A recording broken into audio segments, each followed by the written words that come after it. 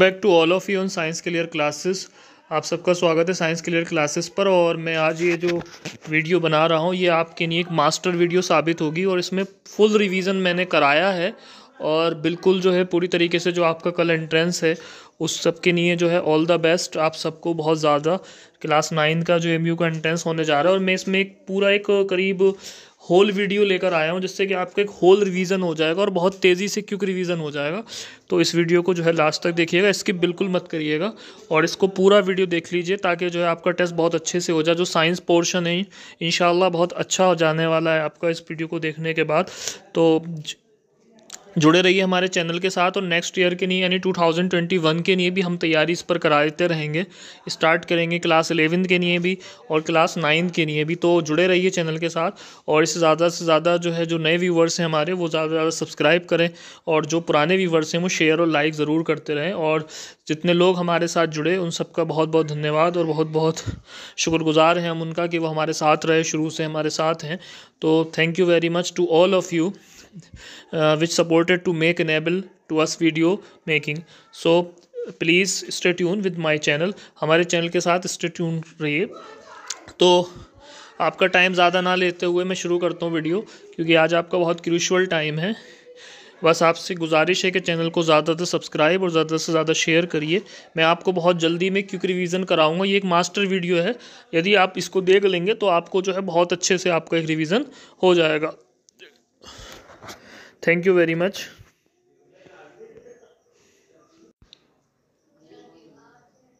देखिए, हम आ गए चैप्टर फ़र्स्ट में। इस चैप्टर से सिर्फ़ आपको पढ़ना है।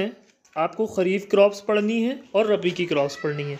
मैंने आपको पढ़ाया भी है वीडियोस में कि ये क्रॉप्स जो होती हैं खरीफ की वो लगभग रेनी सीज़न में जो है बोई जाती हैं और जनरली जून टू सितंबर बोई जाती हैं।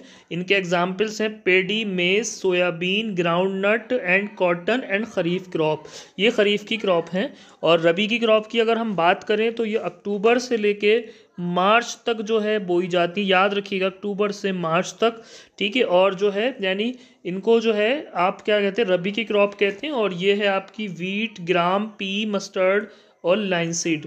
तो ये आप याद रखिएगा, इस चैप्टर में यही इम्पोर्टेंट है ज़्यादा। और इसके बाद जो है, इस चैप्टर में कुछ और इम्पोर्टेंट चीज़ें हैं जो नीचे आएँगी। इसके बाद इस चैप्टर में इम्पोर्टेंट है टिलिंग और प्लफिंग क्या होता है। और टिलिंग और प्लफिंग क्यों होती है? तो process of the loosening and turning of the soil is called tilling और प्लफिंग जो प्रोसेस है लूजनिंग और टर्निंग करने की मिट्टी को, उसको प्लफिंग या जो है टेलिंग कहते हैं। इससे मिट्टी क्या हो जाती है? इससे मिट्टी जो है सॉफ्ट हो जाती है, जिससे कि वाटर कैपलरीज जो बन जाती हैं, जिससे कि पानी एवापोरेट होने का ख़तरा होता है खेत में, वो ख़त्म हो जाती हैं। तो इसमें जो है टिलिंग और प्लफिंग भी ये है, याद करिए। इसको नीचे फिर आगे हम ले लेंगे। और जो इम्पोर्टेंट है, हो किस लिए यूज़ होता है तो एक हो जो है सिंपल टूल होता है, जिससे आप क्या कर सकते हैं वीड को रिमूव कर सकते हैं। सिंपल टूल है ये, जिससे आप क्या कर सकते हैं रिमूव कर सकते हैं वीड को। ठीक है, उसके बाद नेक्स्ट आ जाएँगे हम नीचे।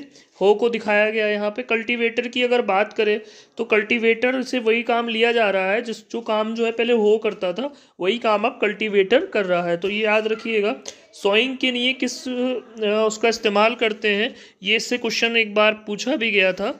तो इसके लिए याद रखिएगा, जो ट्रेडिशनल टूल की अगर हम बात करें ट्रेडिशनल टूल का मतलब होता है जो पहले से परंपरा में चले आ रहे हैं तो इसमें जो है फनेल होता है और इसको जो है टू और थ्री पाइप्स में शार्प एंड में बने रहता है। तो ये इसमें इम्पोर्टेंट है इस चैप्टर से। इसके बाद सीड ड्रिल सीड ड्रिल का इस्तेमाल किसके लिए होता है? सीड को बोने के लिए होता है। आजकल सीड ड्रिल का इस्तेमाल सीड को बोने के लिए होता है, याद रखिएगा। उसके बाद नेक्स्ट इसमें पॉइंट है जो इम्पोर्टेंट है। मैन्योर और फर्टिलाइज़र। मैन्योर और फर्टिलाइज़र में छोटा सा डिफरेंस है, याद कर लीजिए, बहुत सिंपल सा डिफरेंस होता है। मैन्योर की अगर बात करें तो मैन्योर जो है प्राकृतिक रूप से मिलने वाला फर्टिलाइज़र है और फर्टिलाइज़र जो है मैन मेड होता है। जो खाद मैन मेड होती है, उसे फर्टिलाइज़र कहते हैं और जो इंसान की नहीं मतलब चीज़ों से मिलती है, पत्तों से और जानवरों के गोश मगर चीज़ों से मतलब उनके फॉसिल से, उसको क्या कहते हैं? उसको मैन्योर कहते हैं। तो याद रखिएगा ये, इसमें इम्पोर्टेंट है ये। उसके बाद नीचे आ जाएँगे हम। फर्टिलाइज़र में क्या क्या होता है? फर्टिलाइज़र में एन पी के होता है। एन पी के का मतलब होता है नाइट्रोजन एन से और पी से फास्फोरस होता है और के से होता है पोटेशियम। तो ये याद रखिएगा एन पी के नाइट्रोजन, फास्फोरस, पोटेशियम, ये तीनों चीज़ें खाद के कट्टे में रहती हैं, ठीक है? उसके बाद नेक्स्ट चीज़ आ जाएँगे हम यहाँ पे क्रॉप रोटेशन।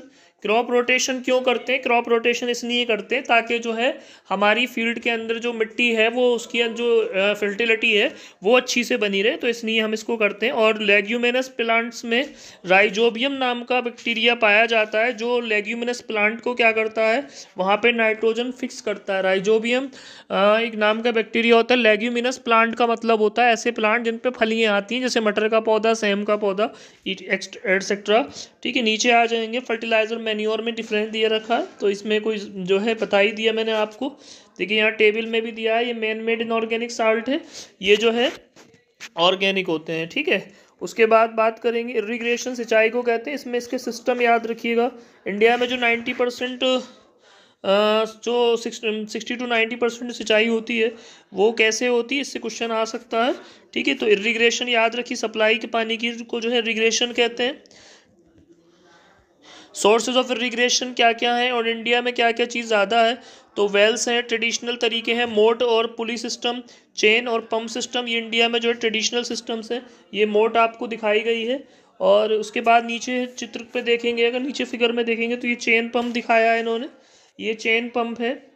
ये है चेन पंप, और इसके बाद ये ढेकली सिस्टम है तो ये भी इरीग्रेशन के सिस्टम है, याद रखिए चेन राहट ये राहट सिस्टम है, जिसमें एक जो हैगा, बैल लगा दिया जाता है, और बैल इसको खींचता रहता है तो ये राहट सिस्टम है तो इसके बाद जो है, ये होगा उसके बाद मॉडर्न मेथड्स हैं मॉडर्न मेथड्स में स्प्रिंकलर मेथड आता है, इसको स्प्रिंकलर मेथड कहते हैं, ये जो मेथड दिखाया गया है, इसको स्प्रिंकलर मेथड कहते हैं, याद रखिएगा ड्रिप सिस्टम है, इसमें नीचे ड्रिप सिस्टम दिखाई, दिखाया गया है ये ये आपका ड्रिप सिस्टम है। ठीक है, उसके बाद जो नेक्स्ट नीचे आ जाएँगे आपका प्रोडक्शन फ्रॉम वीड्स वीड्स क्या है? वीट जो है अनवांटेड प्लांट्स होते हैं, जो खेतों में उगाते हैं, जैसे कि बथुआ है। वीड्स किस, किसको कहते हैं? अनवांटेड प्लांट्स को कहते हैं और इनको ख़त्म करने के लिए वीडीसाइड का इस्तेमाल करते हैं। ठीक है ये चीज़ में आप याद रखिएगा अच्छे से। और सॉइल इसके लिए जो गोदाम वगैरह होते हैं, जहाँ पर हम इनको इस्तेमाल कर सकते हैं। विनोइंग क्या है? पहले विनोइंग समझ लेंगे हम। थ्रेशिंग, विनोइंग कुछ टर्म रह गए थे। ठीक है तो ये हम समझेंगे थोड़ा सा यहाँ पे। वीट को वीडी साइड कहते हैं, अभी बताया था मैंने। जो वीट को ख़त्म कर देते हैं केमिकल उन्हें वीडी साइड कहते हैं। टू फोर डी इसी तरह का एक केमिकल है, जिसे डीडीटी कहते हैं। हार्वेस्टिंग में जो है अगर बात करें तो उसको काटने को कहते हैं। इसमें एक प्रोसेस होती है, जिसको कहते हैं थ्रेशिंग। थ्रेशिंग। थ्रेशिंग का मतलब होता है कि जिस प्रोसेस से आप भूसा अलग कर सकते हो थ्रेशिंग कहते हैं, और इसके लिए आजकल एक नई मशीन आ गई है, जिसको हम जो है कंबाइन कहते हैं। देखिए कंबाइन कहते हैं, ठीक है? तो इसके बाद जो है हार्वेस्ट के ऊपर कुछ फेस्टिवल भी हैं इंडिया में।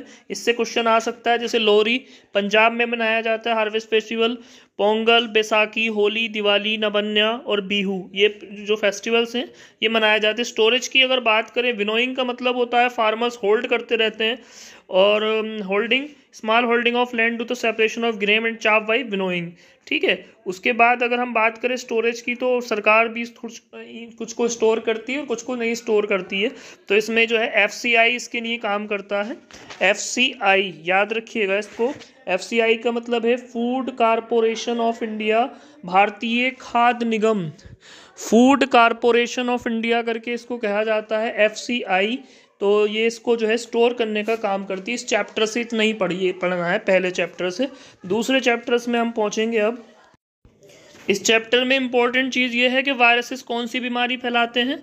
तो वायरसेस जो बीमारियाँ फैलाते हैं, वो मैं आपको अंडरलाइन करके दिखा रहा हूँ।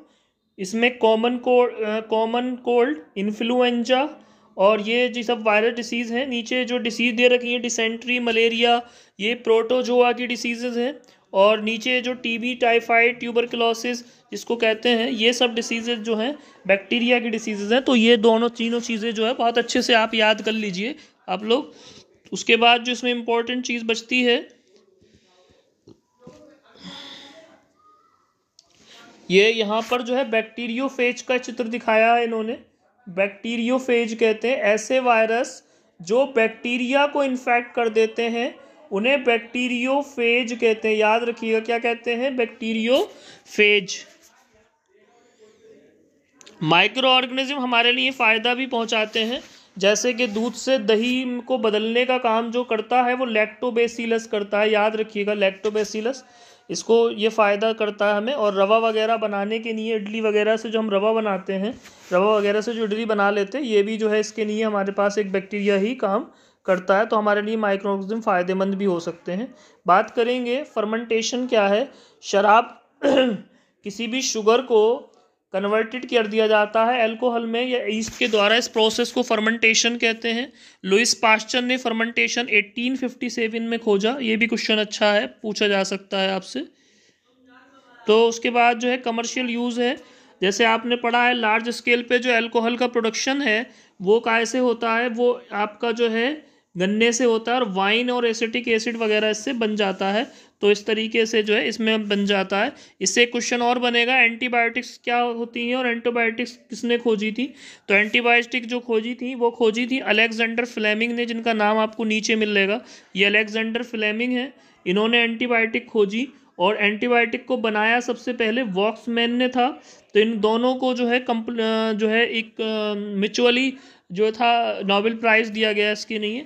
उसके बाद इस चैप्टर से जो इम्पोर्टेंट चीज़ बचती है एडवर्ड जेनर की बात बचेगी। एडवर्ड जेनर ने जो है वैक्सीन खोजी स्मॉल पॉक्स की नहीं ये जो फिगर बनी है एडवर्ड जेनर हैं, इन्होंने वैक्सीन खोजी थी।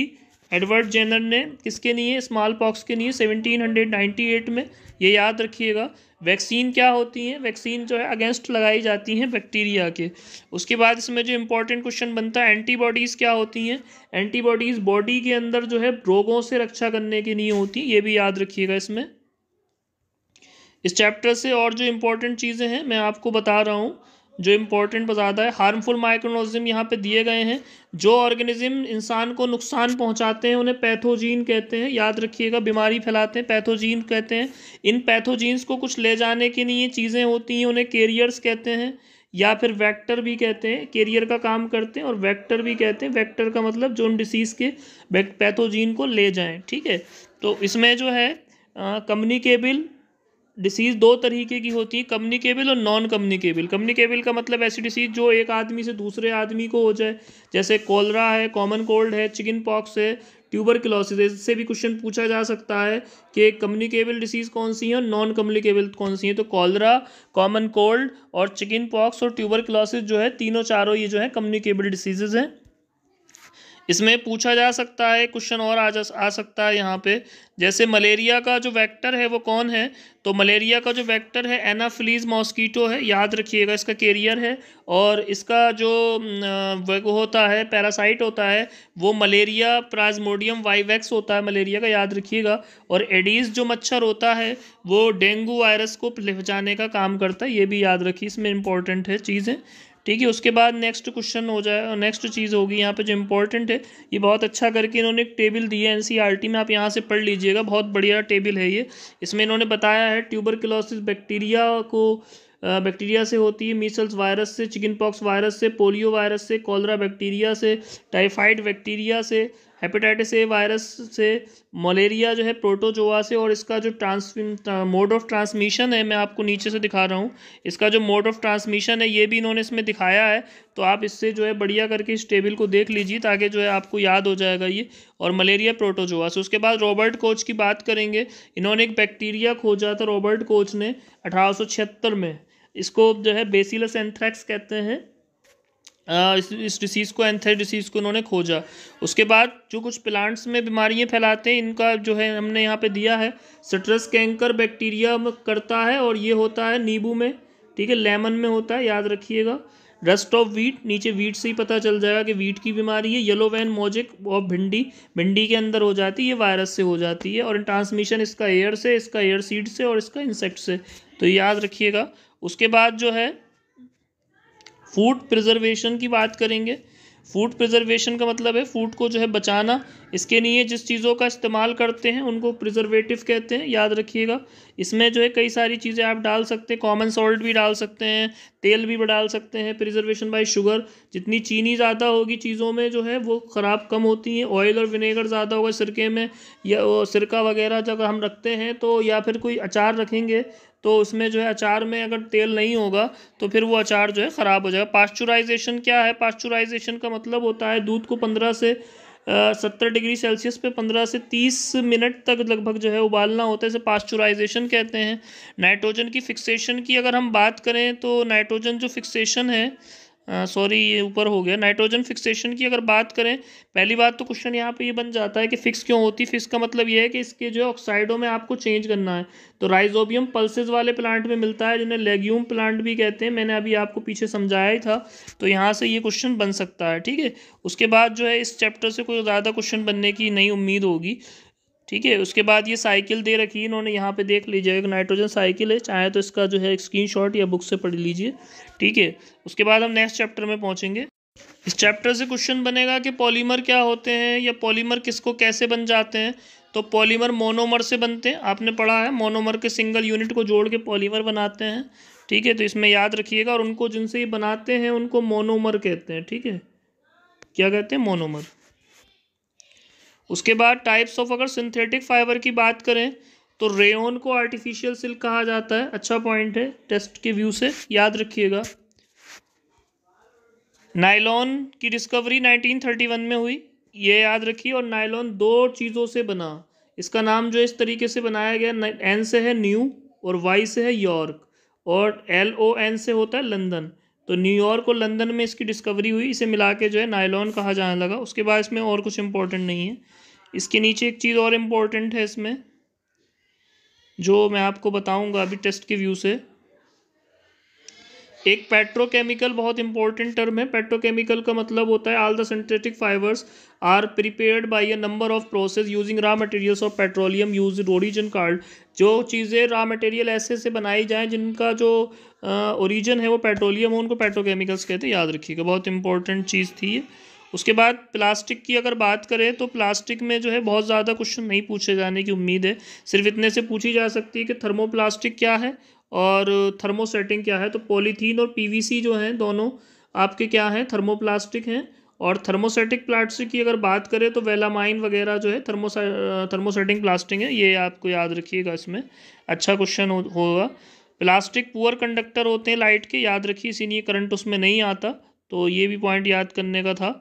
अच्छा से आप जो है इसको याद कर लीजिएगा प्लास्टिक एनवायरनमेंट के लिए बुरे होते हैं, आप सब जानते हैं। दो तरह के जो है चीज़ें होती हैं दुनिया में, एक बायोग्रेडेबल एक नॉन बायोग्रेडेबल बायोग्रेडेबल का मतलब होता है जो बायोलॉजिकल तरीके से ख़त्म हो जाती हैं आसानी से। माइक्रोब्स के ज़रिए उनको बायोग्रेडेबल कहते हैं और जो माइक्रोब्स के ज़रिए से ख़त्म नहीं होती, उनको नॉन बायोग्रेडेबल कहते हैं।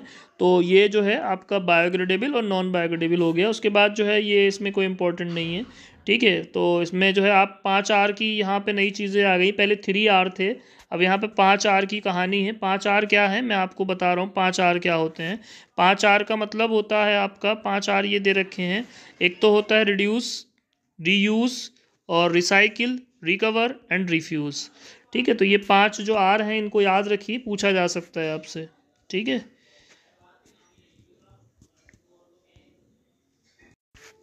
फ्रेंड, ये तीन चैप्टर का हमने रिवीजन इसमें करा दिया है, लेकिन हमने ये मास्टर वीडियो बनाई है तो आप इसमें जो है जुड़े रहिए थोड़ा सा ब्रेक लेना ज़रूरी था, इसलिए हमने एक छोटा सा ब्रेक ले लिया है, और इस ब्रेक के बाद जो है हम फिर से जो है चौथे चैप्टर पे पहुँचेंगे, और चौथे चैप्टर का जो इम्पोर्टेंट चीज़ें हैं, वो हम आपको अभी कराएँगे तो जुड़े रहिए चैनल के साथ, और इसको अगर वीडियो पसंद आई हो तो शेयर और लाइक ज़रूर करिए।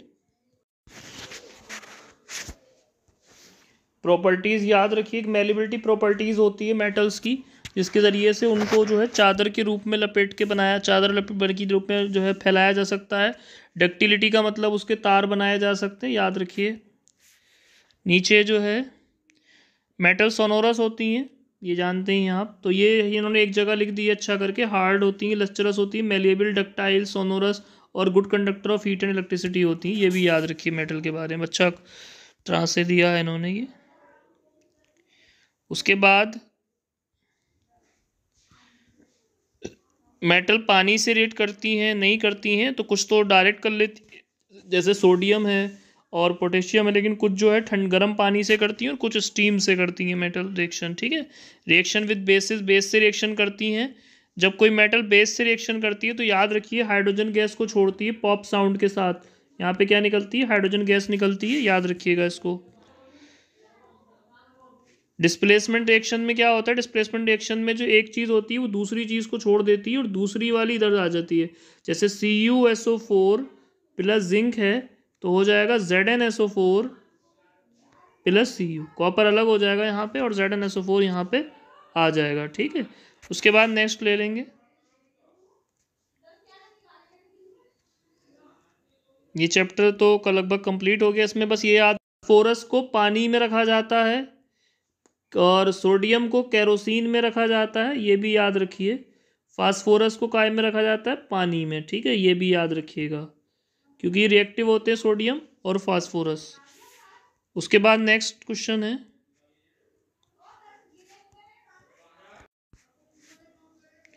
कोल एंड पेट्रोलियम की अगर हम बात करें तो एक एक होता है इनएक्सट्रेटेबल सोर्सेज एक होता है एक्सोस्टेबल सोर्स बहुत आसान है।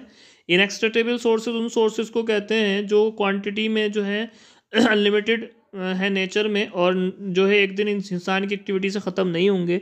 जैसे सनलाइट और एयर और एग्जॉस्टेबल सोर्स उनको कहते हैं जो इंसान की एक्टिविटी से एक दिन ख़त्म हो जाएँगे। Wild life minerals coal petroleum nature कहती है I pay to need not to greed इस प्रोसेस को याद रखिए, यानी नेचर ने पीट जो नीड होती है इंसान की, उसको पे करती है, लेकिन ग्रीड को पे नहीं कर सकती। कोल की अगर बात करें तो कोल के चार टाइप होते हैं।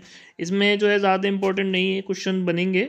इसमें सिर्फ़ इतना बन सकता है कि ये कैसा फ्यूल है तो ये फॉसिल फ्यूल है, याद रखिएगा। हज़ारों साल पहले, लाखों साल पहले ये जो है, उसमें बदल गए थे। और चार प्रकार के कॉल होते हैं एंथ्रासाइट और बिटोमिनस पीट और लिग्नाइट सबसे बेस्ट कोल एंथ्रासाइट होता है। याद रखिएगा एंथ्रासाइट सबसे अच्छा कोल होता है। कोल का अच्छा बुरा होना उसके कार्बन कंटेंट पर होता है। ठीक है तो बिटोमिनस जो है पेट्रोलियम प्रोडक्ट है और कोल तार वगैरह के लिए यूज़ होते। तो कोल तार कोक ये थोड़ा सा देख लीजिए, बुक से कोक क्या है? टफ पोरस ब्लैक होता है, कोल तार का इस्तेमाल लिक्विड होता है और सड़क डालने के नहीं करते हैं लगभग 200 सब्सटेंस मिले होते हैं इसके अंदर। तो इस तरीके से जो है ये चीज़ याद रखिए। कोल गैस की अगर बात करें तो इसमें क्या होता है? कोल गैस जो है सबसे पहले न्यूयॉर्क में यूज़ की गई थी फ़र्स्ट टाइम स्ट्रीट लाइटिंग के लिए और यहाँ पर जो है सोर्स ऑफ़ हीट हीट का इस्तेमाल किया गया रेदर देन लाइट। ठीक है, उसके बाद नेक्स्ट की अगर हम बात करें तो यहाँ पर नीचे बचता है आपका पेट्रोलियम पेट्रोलियम भी इसी तरीके से जैसे कोल बने ऐसी लाखों साल पहले नीचे दब गए। और पहला जो कुआँ था, ये पूछा जा सकता है क्योंकि एनसीईआरटी में है ये। ये पेनिसिली पेनिसिल्वेनिया, यूएसए में खोजा गया, अठारह सौ उनसठ में तेल का कुआँ। अब इंडिया में जो है काफ़ी जगह है। इंडिया में सबसे पहला जो खोजा गया था, वो माकूम इन आसाम में। इंडिया में ऑयल जो है आसाम, गुजरात महा मुंबई हाई और गोदावरी और कृष्णा बेसिन के रिवर में मिलता है। तो सॉरी रिवर के बेसिन में मिलता है। रिफाइनिंग ऑफ़ पेट्रोलियम का मतलब है पेट्रोलियम को निकालना, पेट्रोल की चीज़ को निकालना कहाँ कहाँ है? आपके उत्तर प्रदेश में जो है, मथुरा में है पेट्रोलियम की रिफाइनरीज तो याद रखिए, नेचुरल गैस सीएनजी होती है। सीएनजी का मतलब है, आपने पढ़ा है, कंप्रेस्ड, सी से कंप्रेस्ड और नेचुरल गैस, याद रखिएगा। सीएनजी का फ़ायदा यह है कि सीएनजी जो है, होल बर्न हो जाती है लगभग और उसकी बात जो है, उसकी कोई भी प्रदूषण नहीं करती। ये एक टेबल दी है इन्होंने पेट्रोलियम की और सारी चीज़ों की। जैसे कि अगर हम पेट्रोलियम गैस की बात करें, एलपीजी की तो होम इंडस्ट्री में पेट्रोल का motor fuel, aviation fuel, solvent और ड्राई क्लीनिंग में कैरोसिन का इस्तेमाल, फ्यूल फॉर स्टॉप में, लैम्प्स में, जेट एयरक्राफ्ट में, डीजल का इस्तेमाल, heavy motor vehicle lubrication, lubricating oil का लुब्रिकेशन में, पैराफिन वैक्स का और ऑइनमेंट, कैंडल, वेसलिन में विटोमिनस का पेंट्स में और सरफेसिंग में। तो इस तरीके से जो है इनका इस्तेमाल करते हैं हम, पेट्रोलियम की रिफाइनिंग हो गई है। उसके बाद अगर हम बात करें कि पाइप का सबसे ज़्यादा सीएनजी का नेटवर्क कहाँ है तो ये वडोदरा, गुजरात में है, याद रखिएगा। और इंडिया में एक संस्था, संस्थान है, जिसे पीसीआरए कहते हैं, ये भी याद रखिए। पीसीआरए का मतलब होता है पेट्रोलियम कंजर्वेशन रिसर्च एसोसिएशन है ये पीसीआरए ये जो है टिप्स वगैरह देता है कि कहाँ कुआँ खोदा जा सकता है और कहाँ पे कुआँ खोदने में ज़्यादा फ़ायदा होगा। इस चैप्टर में सिर्फ़ इतना याद रखिए फ्लेम के कलर्स इंपॉर्टेंट हैं। फ्लेम का कलर क्या हो सकता है और कौन सा कलर जो है इम्पोर्टेंट है, या किस समय कौन सा कलर होता है, कब जब इग्निशन टेम्परेचर वो टेम्परेचर है, जिस पर कोई चीज़ जलना शुरू कर देती है। इग्निशन टेम्परेचर की इस पर क्वेश्चन पूछा जा सकता है कि किसका इग्निशन टेम्परेचर सबसे कम होता है, किसका सबसे ज़्यादा होता है, या फिर इसका इंक्रीजिंग या डिक्रीजिंग ऑर्डर दे सकते हैं इग्निशन टेम्परेचर का। तो याद रखिए, ठीक है? माच स्टिक की जो हिस्ट्री है, उसको थोड़ा सा देख लीजिएगा। जो ये जो है, किस किस चीज़ का लेपन होता है? एंटी मनी ट्राइसल्फाइड का पोटेशियम क्लोरेट का वाइट फास्फोरस का, ठीक है, इस तरीके से जो है ये चीज़ें बन जाती हैं, ठीक है। उसके बाद नेक्स्ट की अगर बात करें तो हम फायरमैन की जो है आग को बुझाने के लिए इस्तेमाल होती है फायर ब्रिगेड ठीक है। और एलपीजी वगैरह जो होते हैं इनफ्लेमेबल सब्सटेंसेज हैं ठीक है, जैसे जो है एलपीजी जो है इन्फ्लेमेबल सब्जेक्ट है फायर तेज़ ज़्यादा आग को जो है बुझाने के लिए रेता वगैरह का इस्तेमाल करते हैं और फायर एक्सटिंग्विशर का इस्तेमाल करते हैं। फायर एक्सटिंग्विशन में जो सबसे ज़्यादा इंपॉर्टेंट चीज़ होती है, वो सी ओ टू होती है। सी ओ टू जो है बेस्ट एक्सटिंग्विशर है, याद रखिएगा, यहाँ से क्वेश्चन बन सकता है। आपने ऑफ़िस वगैरह में देखा होगा कि जो है लगी रहती है तो इसमें जो है सी ओ टू जो है बेस्ट एक्सटिंग्विशर होगी। उसके बाद नेक्स्ट क्वेश्चन नेक्स्ट चीज़ है इसमें कम्जशन जो है, में क्या होता है? कम्जशन में जो है सी ओ टू बनती है, याद रखिएगा। आगे फ्लेम की नीचे बात कर रहे हैं, वो फ्लेम के कलर्स हैं और फ्लेम के ऊपर जो है ताकत की बात कर रहे हैं। देखिए, बहुत अच्छी फिगर बनाई है एन में। ये जो है आउटर जोन है, ये कंप्लीट कम्बेशन जोन होता है, ये मॉडरेटली हॉट होता है और ये लीस्ट हॉट होता है। तो इस तरीके से याद रखिएगा, ये मिडिल पार्ट येलो होता है आउटर जोन ब्लू होता है इनर मोस्ट ब्लैक होता है। याद रखिए ब्लू येलो ब्लैक ठीक है, नीला, पीला और सॉरी नीला, पीला, काला। ठीक है नगर पालिका से याद रखिएगा, नीला, पीला, काला। ठीक है? आइडियल फ्यूल उसे कहते हैं जो अच्छी तरीके से जो है स्टोर हो जाए चीप हो, सस्ता हो, इधर से, इधर उधर ले जाने में आसानी हो। तो इस चैप्टर में जो है कैलोरीफिक वैल्यू से कई बार एमयू ने क्वेश्चन पूछे हैं। तो इस तरीके से क्वेश्चन हो सकता है, सबसे ज़्यादा किसकी होती है, सबसे कम किसकी होती है? ठीक है, या पूछ सकते हैं, पेट्रोल और कोल की किस, कितनी कितनी होती है। तो ये बहुत अच्छी टेबल है, शानदार टेबल है, इसको याद कर लीजिए, इससे जो है आपको टेबल्स याद हो जाएँगी। ज़्यादा कम्जशन से हमें जो नुकसान हो रहा है एनवायरनमेंट को, वो ग्लोबल वार्मिंग हो रही है। ग्लोबल वार्मिंग का मतलब ये है कि पृथ्वी पे गर्मी का बढ़ना ग्लोबल वार्मिंग है, ठीक है, और इस तरीके से जो है ग्लोबल वार्मिंग बढ़ती रही तो एक ना एक दिन जो है जो पोलर ग्लेशियर है वो मेल्ट हो जाएँगे, कोस्टल एरिया वगैरह जो है बर्बाद हो जाएँगे, जिससे जो है क्या होगा, बहुत ज़्यादा नुकसान होगा। तो एसिड रेन की अगर बात करें तो ये एस वगैरह यानी सल्फ़र के ऑक्साइड और नाइट्रोजन के ऑक्साइड जब पानी में घुल जाते हैं तो उससे एसिड रेन हो जाती है और एसिड रेन जो है इन जो है नुकसान दे रही है ताजमहल को। ताजमहल का जो कलर है वो ख़राब कर रही है। तो इसको याद रखिएगा, इसके लिए एस उत्तरदायी है और ग्लोबल वार्मिंग के लिए मेनली रूप से सी उत्तरदायी है, ये भी याद रखिएगा। उसके बाद नेक्स्ट चैप्टर लेंगे। इस चैप्टर में पूछा जा सकता है वाइल्ड लाइफ सेंचुरीज़ के बारे में पूछा जा सकता है। एक ऐसे एरिया जहाँ एनिमल्स को प्रोटेक्ट किया जाता है, उसे वाइल्ड लाइफ सेंचुरी कहते हैं। नेशनल पार्क की अगर बात करें तो जो वाइल्ड लाइफ के लिए रिज़र्व कर दिए जाते हैं एरिया जहाँ पर उनको जो है उस हैबिटेट में और नेचुरल एनवायरनमेंट में रखा जाता है। बायोस्फीयर रिज़र्व की अगर बात करें तो ये लार्ज एरियाज़ होते हैं प्रोटेक्टेड करते हैं कंजर्वेशन को। उसके बाद बायोस्फीयर रिज़र्व की अगर बात करें तो बायोस्फीयर रिज़र्व का मतलब होता है एक बड़ी सी जगह जंगलों में और जिसको आप रिज़र्व कर दें, बचाने के लिए उसको बायोस्फीयर रिज़र्व कहते हैं। इंडिया में पहला national park, Corbett national park था, याद रखिए, बहुत अच्छी करके इन्होंने ये एक टेबल दी है, पंचमढ़ी बायोस्फीयर रिज़र्व के बारे में बताया है इन्होंने चित्र से। उसको थोड़ा सा अच्छे से देख लीजिएगा।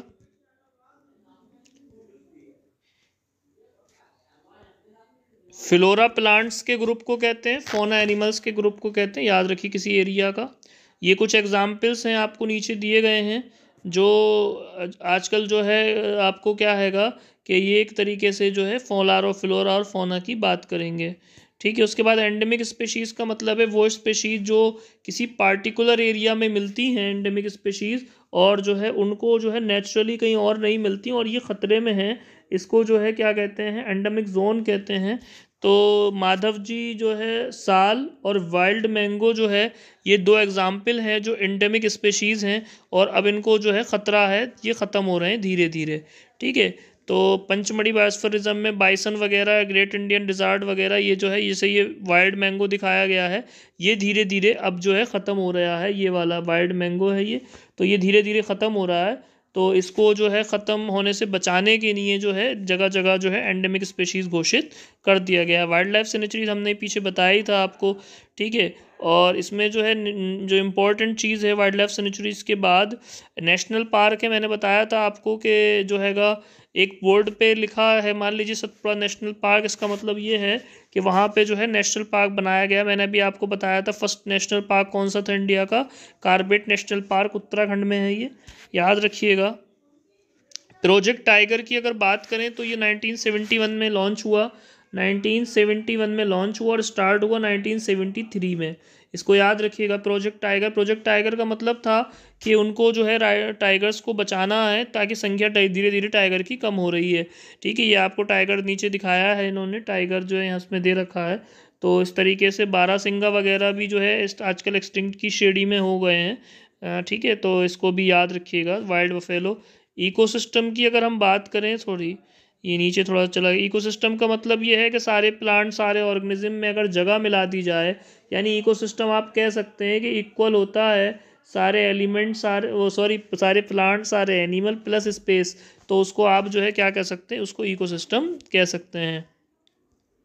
रेड डाटा बुक एक बुक होती है, याद रखिए इसके पेज लाल नहीं होते हैं। सिर्फ़ रेड डाटा बुक उसका नाम है, इसमें एक्सटिंक्ट इसमें एंडेमिक इसमें एंडेंजर्ड स्पेशीज़ का ज़िक्र किया जाता है। माइग्रेशन की अगर बात करें तो जब किसी का हैबिटेट ख़त्म हो जाता है, किसी जानवर का तो वो जगह से माइग्रेट हो जाता है, इसे माइग्रेशन कहते हैं। उसके बाद रिसाइकलिंग ऑफ़ पेपर है इसमें पेपर को हम रिसाइकलिंग कर लेते हैं। रिफॉरेस्टेशन बहुत आसानी सा शब्द है। रिफॉरेस्टेशन का मतलब होता है आपको दोबारा जंगल लगाने हैं। इसी का उल्टा हो जाता है। डीफॉरेस्टेशन डीफॉरेस्टेशन का मतलब है आपको जंगल उजाड़ने हैं। ठीक है, ये चैप्टर कंप्लीट हो गया फ्रेंड फ्रेंड ये जो है करीब आपके सात चैप्टर हमने करा दिए और अभी ये चैप्टर्स कुछ आगे भी हैं इसमें तो वो चैप्टर्स भी हमें आपको कराने हैं, लेकिन एक ब्रेक्स भी ज़रूरी है और आप जो है अगर इस पूरी वीडियो को एक साथ ना देखें तो इसको रुक रुक के देख सकते हैं, क्योंकि आपको याद भी करना है और जो जो चीज़ें इंपॉर्टेंट लगे जो मैंने आपको बताई हैं, वो आप नोट भी कर सकते हैं तो इसके लिए जो है बहुत ज़्यादा आप इस वीडियो को अगर देख लेंगे तो मैं समझता हूँ कि साइंस का पोर्शन फिर आपका गलत होगा ही नहीं। तो इसको देखते रहिए और बहुत कुछ क्वेश्चन इसमें सीधे सीधे फंसेंगे। तो अच्छे से इस वीडियो को देख लीजिएगा एक बार, ठीक है? और हम इसकी आंसर की जो है क्लास नाइन्थ की कल को लगभग जो है नौ बजे अपने चैनल पर अपलोड करेंगे तो वहाँ से आप जो है साइंस पोर्शन की, बल्कि और पोर्शंस की भी हम लोड कर देंगे। लेकिन जो है साइंस की मैनली आपको जो है ऑथेंटिक आंसर की मिल जाएगी कल नौ बजे तक। ठीक है तो जुड़े रहिए चैनल के साथ और बहुत बहुत जो हैगा, जो पुराने लोग हमारे साथ जुड़े हुए हैं, उनका बहुत बहुत धन्यवाद। इस चैप्टर में जो इम्पोर्टेंट चीज़ बनती है, वो सबसे ज़्यादा इम्पोर्टेंट है कि सेल की डिस्कवरी किसने की? सोलह में रॉबर्ट हुक ने, याद रखिए। ये फैक्ट इन्होंने अपनी किताब माइक्रोग्राफिया में भी लिखा, इसको भी याद रखिए। और सबसे पहली living cell Antonie van Leeuwenhoek ने देखी थी, ये भी याद रखिए, इसको नोट कर लीजिए चाहे। सबसे पहली living cell Antonie van Leeuwenhoek ने खोजी थी। किसने खोजी? एंटी वॉन ल्यूवेन हॉक ने, याद रखिएगा। उसके बाद सेल बेसिक स्ट्रक्चरल यूनिट है, सब पढ़े हैं आप ये सब, ठीक है इसमें इंपॉर्टेंट नहीं है। सेल सिंगल भी हो सकते हैं, जानवर मल्टी सेलर भी हो सकते हैं। नंबर ऑफ़ सेल अलग अलग वेराइज करती, डिपेंड करती है, ठीक है। एक W B C human cells में ऐसी सेल्स होती है जो अपना शेप बदल सकती है अमीबा की तरह। तो ये क्वेश्चन अच्छा बनता है यहाँ पे एम यू पूछ सकती है कि जो वाइट ब्लड सेल्स होती है ह्यूमन में, वो अमीबा की तरह अपना साइज़ जो है चेंज कर सकती है। ठीक है? शेप ऑफ़ सेल कई तरह की सेल होती हैं। जैसे अगर हम अमीबा की बात करें तो अमीबा पे पैर होते हैं, जिन्हें सीडोपोडिया कहते हैं। दिख रहा होगा आपको सीडोपोडिया सीडोपोडिया का काम होता है कि वो उसको फीट भोजन भी कराता है और चलाता भी है। तो ये अमीबा में होते हैं, झूठे पैर कहते हैं इनको। उसके बाद साइज़ ऑफ़ सेल वेराइज करता है। स्मॉलेस्ट सेल जो है, हमारी इन जो है, कि स्मॉलेस्ट सेल जो है, आपकी जो है अलग अलग होती है, ठीक है, और लार्जेस्ट सेल कितनी बड़ी हो सकती है। वैसे वायरस सबसे ज़्यादा छोटे होते हैं। सबसे छोटी सेल दुनिया में माइकोप्लाज्मा है, ठीक है, और सबसे बड़ी सेल जो है एग ऑफ़ ऑस्ट्रिच अगर ह्यूमन की बात करें तो न्यूरॉन सबसे बड़ी सेल्स होती है। ठीक है, लम, उसके बाद सेल मेम्ब्रेन है पार्ट पढ़ लीजिएगा, इसका कोई ख़ास नहीं सेल वॉल प्लांट्स में होती है बैक्टीरिया में होती है और फंगी में होती है, लेकिन एनिमल सेल में सेल वॉल नहीं होती, याद रखिएगा। सेल मेम्ब्रेन हो सकती है सब में न्यूक्लस ठीक है साइटोप्लाज्म उस जगह को कहते हैं, उस एरिना को कहते हैं, जिसमें ये सारी प्रोसेस होती रहती है साइटोप्लाज्म कहते हैं। न्यूक्लियस की अगर बात करें तो न्यूक्लियस जो है कंट्रोल सेंटर होता है पूरी सेल का, और इससे जो है पूरी सेल चलता रहती है। और सेल दो तरीके की होती है, ये भी अच्छा याद रखिए प्रोकैरियोटिक और यूकैरियोटिक मैं आपको एग्ज़ाम्पल बता दे रहा हूँ ब्लू ग्रीन एलगी बैक्टीरिया और जो माइ जो आपका वो हैगा माइकोप्लाज्मा या पी पी एल इन्हें छोड़ के सारी सेल जो है यूकैरियोट होती हैं। बस ये याद रखिएगा आप। उसके बाद वैकुल की अगर बात करें तो यहाँ से क्वेश्चन ये बन जाता है, वैकुल प्लांट सेल में बड़े बड़े होते हैं एनिमल सेल में छोटे छोटे होते हैं। प्लास्टिक केवल प्लांट सेल में ही होते हैं, याद रखिएगा प्लास्टिक प्लास्टिक जो है कलर को देते हैं, ठीक है? कंपेरिजन दी रखी है इन्होंने एक। एनिमल सेल की प्लांट सेल के साथ कंपेरिजन है, बहुत अच्छा करके ये कंपेरिजन उन्होंने दी है। तो आप इसको याद रखिएगा। कि देखिए इसमें मैं आपको फिगर से समझा दे रहा हूँ। प्लांट सेल में आपको सेल वॉल दिखेगी एनिमल में नहीं दिखेगी। इसके वैकुल बड़े होंगे, इसके वैकुल छोटे होंगे। न्यूक्लियस इसका सेंट्रल्ड होगा, इसका साइड में होगा। ठीक है साइटोप्लाज्म जो है तो ये क्लोरोप्लास्ट मिलेगा इसके अंदर और इसके अंदर क्लोरोप्लास्ट नहीं मिलेगा। तो ये थोड़ा सा याद रखिएगा इसका, ठीक है? उसके बाद नेक्स्ट चैप्टर लेंगे। स्पर्म में तीन पार्ट होते हैं। ये याद करने का क्वेश्चन है। हेड मिडिल पेस और टेल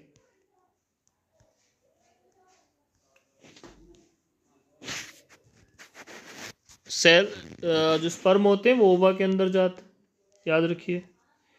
फर्टिलाइजेशन फेलापियन ट्यूब में होता है, ये याद रखिए। इंटरनल और एक्सटर्नल का मतलब ये है, जहाँ फर्टिलाइजेशन अंदर ही हो जाए बॉडी के, उसे कहते हैं इंटरनल फर्टिलाइजेशन और जहाँ पे बाहर हो, वहाँ से कहते हैं external fertilisation test tube baby जो का मतलब है आईवीएफ आईवीएफ का मतलब है इंट्राविट्रो फर्टिलाइजेशन इसमें जो है बच्चे को जो है एक टेस्ट ट्यूब के अंदर रखते हैं और टेस्ट ट्यूब से लेके उसकी पेट में, उसमें यूट्रस में लौट देते हैं तो इसे आईवीएफ प्रोग्राम कहते हैं। सबसे पहले दो सेल के मिलने से, यानी फर्टिलाइजेशन होने से जाइगोड बनता है और जाइगोड फिर बाद में एम्ब्रियो में चेंज हो जाता है। याद रखिए। ये इन्होंने जो है एक जाइगोड का एक्शन दिखाया, इस तरीके से चलता हुआ यहाँ आ जाता है। फिर उसके बाद एम्ब्रियो के बाद उसे फ्यूटस कहने लगते हैं। एनिमल दो तरीके के होते हैं, एक विवीपेरस, एक ओवी पेरस विवी पेरस सीधे बच्चे देते हैं और ओवी पेरस अंडे देते हैं, याद रखिएगा।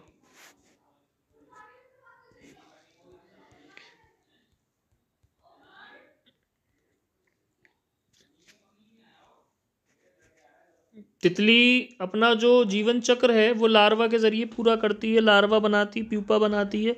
उसकी इस प्रोसेस को मेटामॉर्फोसिस कहते हैं, याद रखिएगा।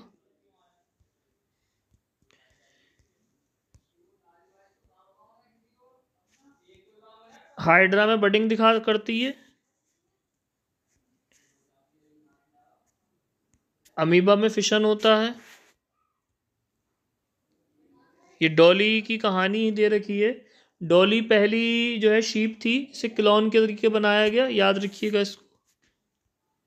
ये चैप्टर भी कंप्लीट हो गया आपका। एडम सेपिल गले में होता है।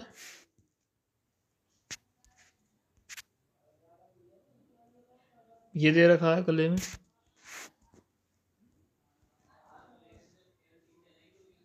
इसके बाद हार्मोन की बात कर रहे थे हम। हार्मोन केमिकल पदार्थ होते हैं जो बॉडी में निकलते हैं और बॉडी को एक्शन को चेंज करते हैं। ये सीक्रेट होते हैं एंडोक्राइन ग्लैंड से। मेल हार्मोन की अगर बात करें तो टेस्टिस्ट्रोन मेल हार्मोन है और फीमेल हार्मोन की अगर बात करें तो एस्ट्रोजन है। इसका बहुत सारा काम है। एस्ट्रोजन जो है मिल्क सीक्रेट वगैरह कराता है मेमोरी ग्लैंड वगैरह को डेवलप करता है ब्रेस्ट में। इस तरीके से जो है ये इंपॉर्टेंट हार्मोन है गर्ल्स के लिए। एस्ट्रोजन मिल्क सीक्रेट कराता है मेमोरी ग्लैंड्स को डेवलप कराता है। उसके बाद जो है तीसरी जगह पे आ जाइए। फीमेल में दस से बारह साल की एज को एज ऑफ़ प्यूबर्टी कहते हैं और ये पैंतालीस पचास तक रहती है, ठीक है? और लगभग अट्ठाईस से तीस दिन में ओवेरी जो है जो है ओवो मैच्योर होकर बाहर कर दी जाती है, इसे पीरियोडिक साइकिल या फिर जो है पीरियड कहते हैं। मैंसूरेशन का मतलब है पीरियड का जो है होते रहना, मेनार्क इसका स्टार्टर है मीनोपाउस इसके एंड को कहते हैं, याद रखिएगा। क्रोमोसोम्स वो थ्रेड लाइक स्ट्रक्चर्स हैं जो इंसान में जो है जीन लेके जाती हैं एक्स वाई क्रोमोसोम बॉयज़ में और एक्स एक्स क्रोमोसोम गर्ल्स में होता है। इसमें ये याद करने का है। यहाँ दिखाया ही है। आगे फिगर में इन्होंने दिखाई दिया तो इससे देख लीजिएगा।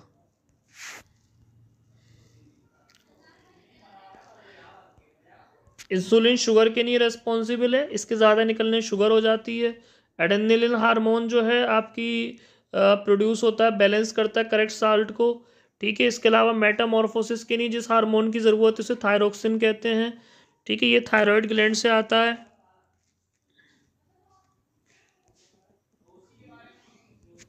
रिप्रोडक्टिव हेल्थ की अगर बात करें तो हमें जो है रिप्रोडक्शन की तरफ़ से भी हेल्थी होना चाहिए जो है। उसके बाद नेक्स्ट चैप्टर में आ जाएँगे फोर्स एंड प्रेशर में। तो कोई भी पुश और कोई भी पुल फोर्स है ये आप याद रखिए, इसमें कोई ज़्यादा इम्पोर्टेंट चीज़ नहीं है। फोर्सेस के नाम याद रखिएगा, ठीक है? ये इम्पोर्टेंट है इसमें।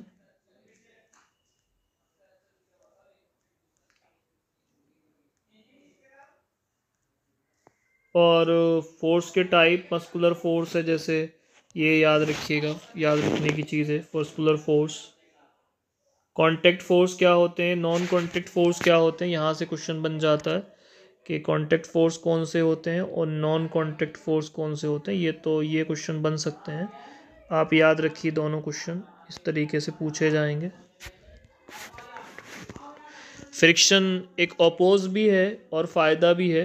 अगर ज़्यादा तेज़ चल रहे हों तो फ्रिक्शन हमें रोक लेता है और गिरने से भी बचाता है। नॉन कॉन्टेक्ट फोर्स भी नीचे दे रखे हैं जैसे मैग्नेटिक फोर्स है और दूसरे force non contact electrostatic force की अगर बात करें तो दो रखे हुए चार्ज के बीच का फोर्स है।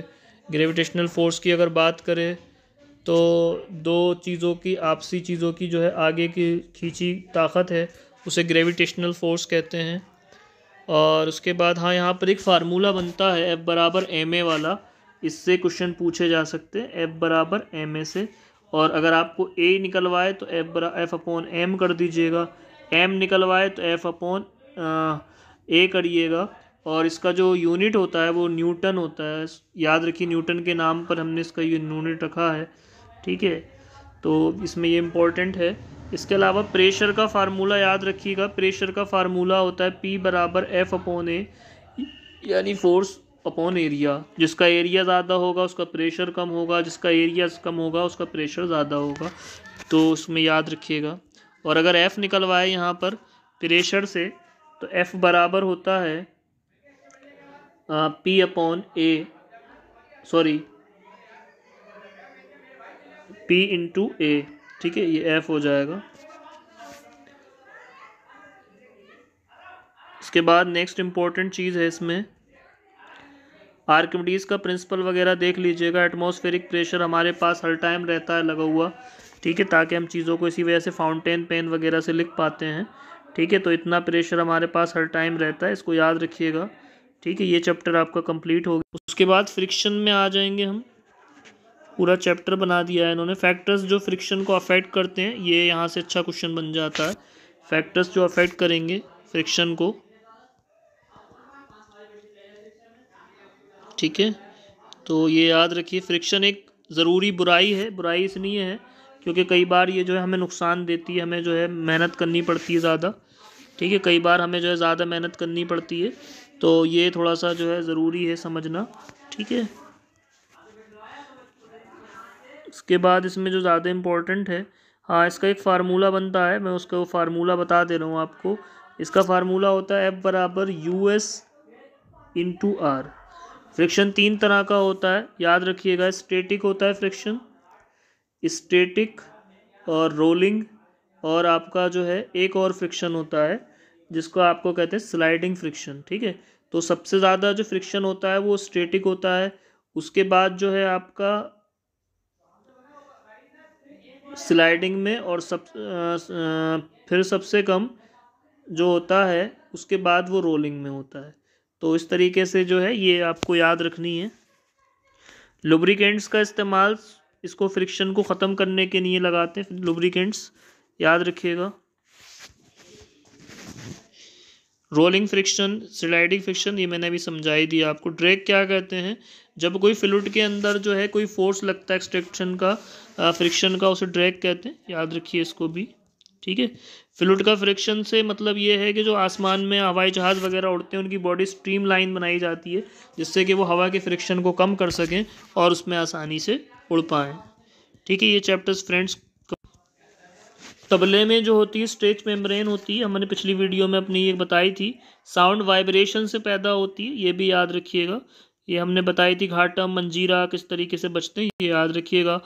आवाज़ बोलने के लिए मुँह में जो है लॉरिक्स होता है गले में, ये याद रखिएगा। विंड पाइप होता है उसके नीचे, ये पूरे एक फिगर से इन्होंने दिखा, हमने दिखाया है इसको। तो इसमें ये जो है एक वॉइस बॉक्स है, जिससे हम आवाज़ आती है। गिलास में पानी भरने के बाद और उसको जो है अगर आप एक डंडे से मारेंगे तो एक म्यूज़िक सा निकलता है, इसे जल तरंग कहते हैं। याद रखिएगा इसको। यहाँ से क्वेश्चन बनता है।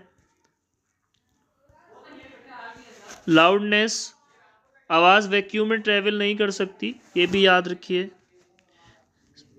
स्काई जो सनलाइट होती है, वो ट्रैवल कर सकती है। कान के जो सुनने के लिए रेस्पॉन्सिबल स्टेज मेम्ब्रेन है, उसे ईयर ड्रम कहते हैं। याद रखिएगा।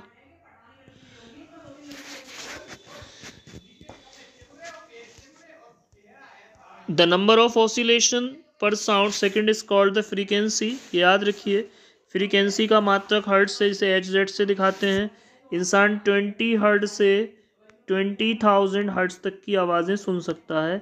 जिसे कभी कभी वो आपको ट्वेंटी के लिख देगा, के एच जेड लिख देगा, तब भी मतलब वही होगा। तो इसको थोड़ा सा याद रखिएगा। आवाज़ की जो फ्रीक्वेंसी है, वो एम्पलीट्यूड पे डिपेंड करती है। ये भी इम्पोर्टेंट है यहाँ से। उसके बाद जो इम्पोर्टेंट है यहाँ से, कौन कितना साउंड पैदा करता है, ये थोड़ा सा इम्पोर्टेंट आप लोग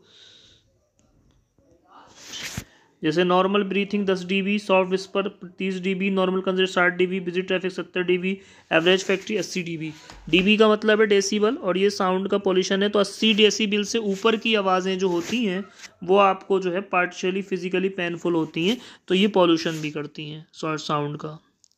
नॉइज़ और म्यूज़िक में फ़र्क है। नॉइज़ आपको जो है अच्छा नहीं लगता म्यूज़िक प्लीजेंट साउंड को कहते हैं, ठीक है तो ये फ़र्क है इसमें।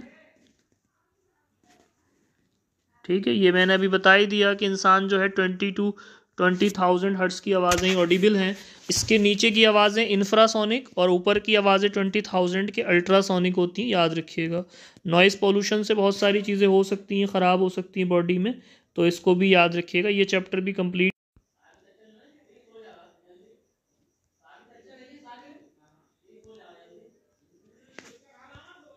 एलईडी का मतलब होता है लाइट एमिटिंग डायोड। याद रखिएगा पूछी जा सकती है। Light sorry emitting diode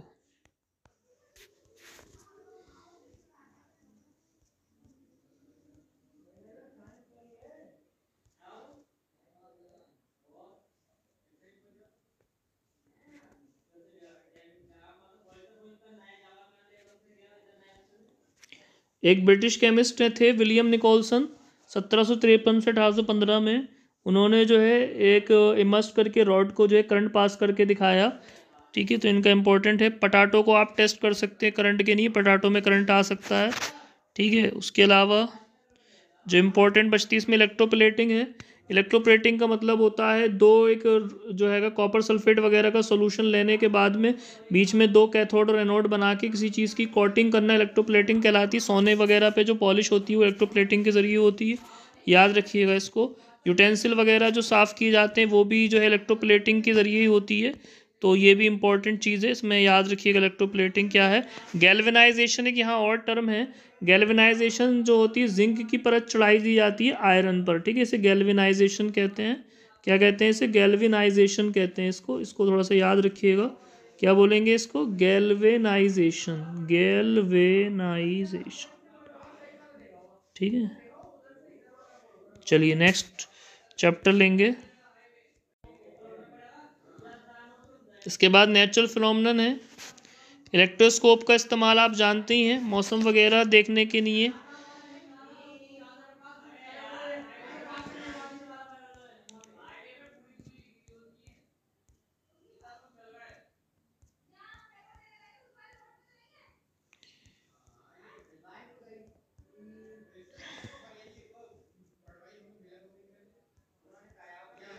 lighting के दौरान क्या करते हैं, क्या नहीं करते हैं, ये याद रखिए, खुली हुई जगह पे जानी चाहिए जब थंडरिंग हो रही हो।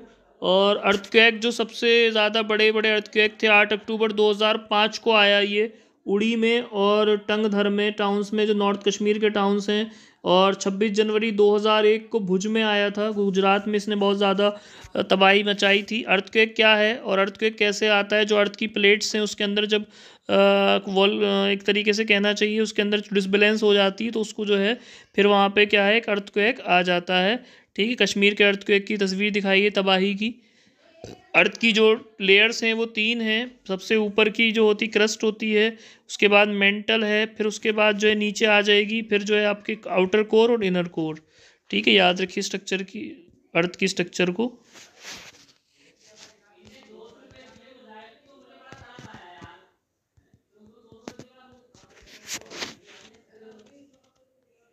सिस्मिक या सिस्मोग्राफ जो है, आपका जो हैगा, जो अर्थक्वेक आता है, उनको नाप सकता है सिस्मोग्राफ ठीक है? भूकंप को। इसके बाद जो है प्रोटेक्शन क्या क्या ले सकते हैं, ठीक है? इसके लिए जो है central building of research institute Roorkee ने एक अर्थक्वेक रेजिस्टेंस हाउसेस को डेवलप किया है सेंट्रल बिल्डिंग रिसर्च इंस्टीट्यूट ने, याद रखिएगा इसको। ये इंपॉर्टेंट है इस इस चैप्टर में लाज ऑफ़ रिफ्लेक्शन याद रखिए। इंसिडेंट रे याद रखिए इंसिडेंट रे रिफ्लेक्टेड रे ठीक है? और इसके अलावा नॉर्मल क्या होता है? Angle of incidence angle of reflection क्या होता है? ये याद रखिएगा इसमें। इसमें रेगुलर रिफ्लेक्शन डिफ्यूज डिफ्यूज का मतलब जहाँ पर रेगुलेशन जो है रिफ्लेक्शन सही ना हो। और इसके बाद जो है मल्टीपल इमेजेस कैसे आप ले सकते हैं? ठीक है, कैलेडियोस्कोप क्या होता है? हमारी अगर आइज़ की बात करें तो आइज़ में जो है तीन लेयर होती हैं, स्केलेरा, कोरोइड और कॉर्निया। आँख में पीछे नॉप्टिक नर्व होती है जो पढ़ के बताती है, रेटिना पे इमेज बनती है, जो लेंस होता है वो कॉन्वेक्स होता है। एक जगह होती है, हमारी आँख में जिसे कहते हैं ब्लाइंड स्पॉट, क्या कहते हैं, ब्लाइंड स्पॉट, यहाँ पर जो है विज़न बिल्कुल नहीं होता है। ये भी याद रखिए इंपॉर्टेंट पॉइंट है।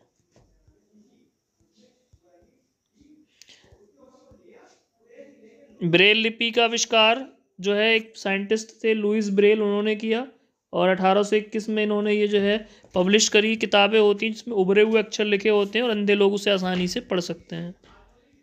ठीक है, ये चैप्टर भी आपका कंप्लीट करा दिया। इसके बाद सबसे पहली चीज़ है एस्ट्रोनॉमी है। एस्ट्रोनॉमी कहते हैं स्टडी ऑफ़ जो है कैलेशियल ऑब्जेक्ट्स की, पढ़ने को एस्ट्रोनॉमी कहते हैं। उनके बारे में पढ़ने को मून के फ़ेज़ याद रखिए फेजेस ऑफ़ मून क्या क्या होते हैं? ठीक है? और रेवोल्यूशन याद रखिए, सत्ताईस दिन छः घंटे में चाँद जो है रेवोल्यूट करता है। चाँद पे पहला आदमी जो गया, वो अमेरिका से थे। उनका नाम था नील आलम स्ट्रोंग इक्कीस जुलाई उन्नीस सौ उनहत्तर को वो चाँद पे पहुँचे। और भारत से जो पहले आदमी चाँद पे गए, उनका नाम था राकेश शर्मा। ठीक है, याद रखिएगा। सन हमसे करीब 150 मिलियन किलोमीटर दूर है।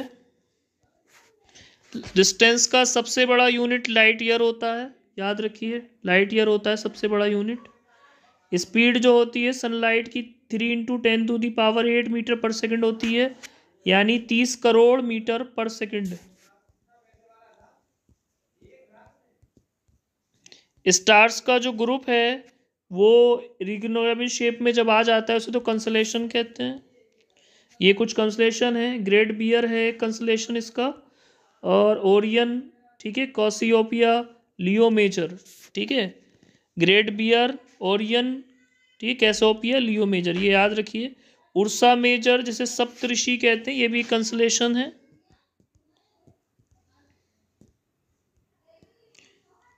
ओरियन भी एक जो हैगा कंसलेशन है साइरस इस तरीके से प्लेनेट रिवॉल्व करते हैं अर्थ सन के चारों तरफ़ को, ये आपको दिखाया गया है। अर्थ का revolution three sixty five days six hour में कंप्लीट होता है। इस तरीके से ये छः छः घंटे जो है एक पूरा दिन बना लेते हैं छः चौक चौबीस, और इस तरीके से एक दिन इसका बढ़ जाता है।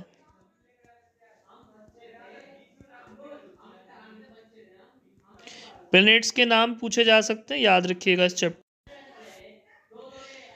पॉल्यूशन की बात याद रखिए पॉल्यूशन से क्वेश्चन पूछे जा सकते हैं। एयर पॉल्यूशन है ग्लोबल वार्मिंग की पीछे हमने बात कर ली थी।